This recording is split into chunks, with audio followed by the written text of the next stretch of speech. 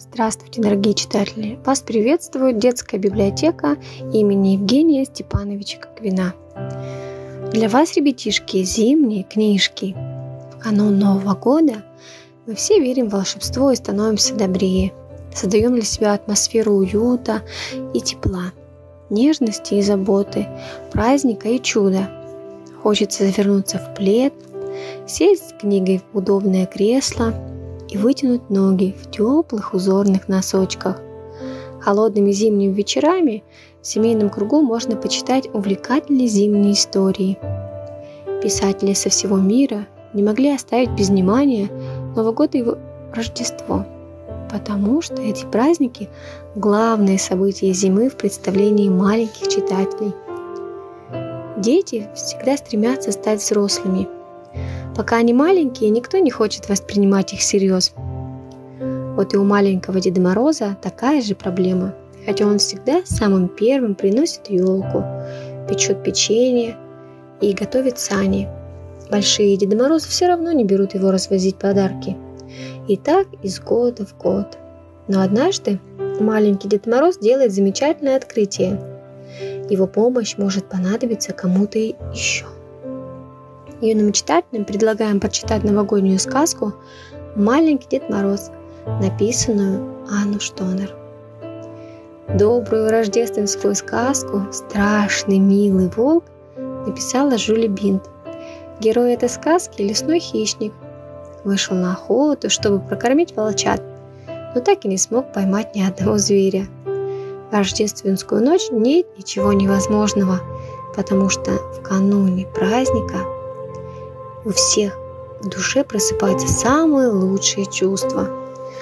Так стоит ли удивляться, что злой и страшный волк вдруг оказался добрым и отзывчивым? А малыши, которые пока еще не умеют читать, останутся в восторге от акварельных иллюстраций.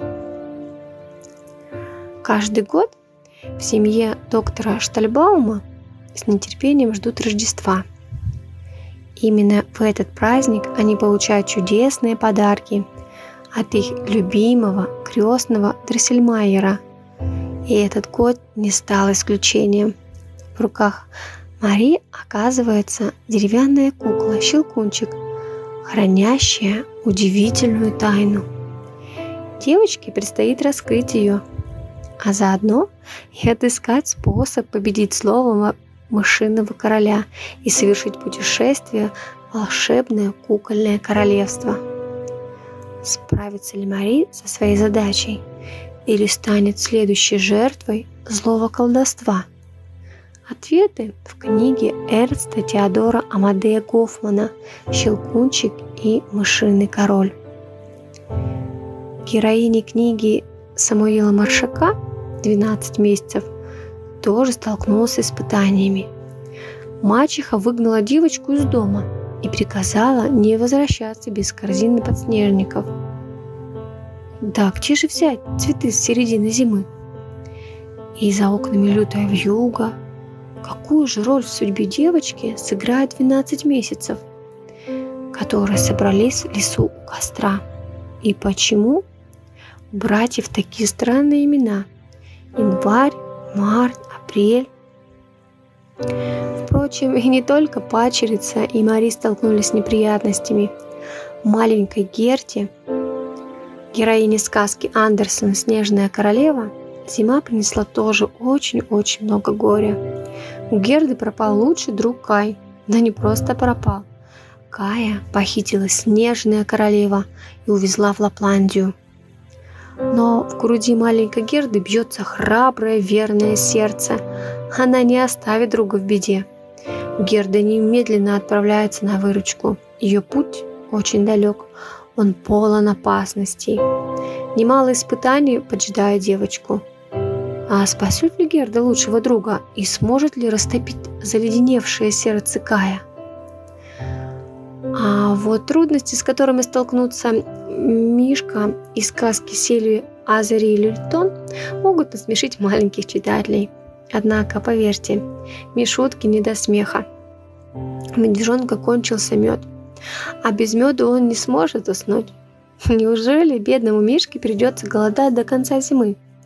соседи приходят на выручку, но разве могут они прокормить большого медведя? А тем временем великан с мешком направляется к Мишутке на берлоге. Вам интересно, что будет дальше? Читайте книжку «Лучшая мама на свете». А вот героя книги Тувы Янсен «Волшебная зима» однозначно ждут приятные впечатления. Вопреки обычаю и самой своей природе, малютки Мумитроль совсем не спит этой зимой. Однако выясняется, что в это время, когда большинство обитателей долины спит в своих кроватках, вокруг происходят потрясающие вещи. Ну а если не спать, то можно получить незабываемые впечатления. Какие? Как вы думаете, прочитаете и найдете ответ сами. Что может быть лучше ароматного чая и доброй книги? Чтение в кругу семьи и красивого снегопада за окнами. Разве что поход в Коковинку за новыми книгами о зиме и чудесных волшебных историях.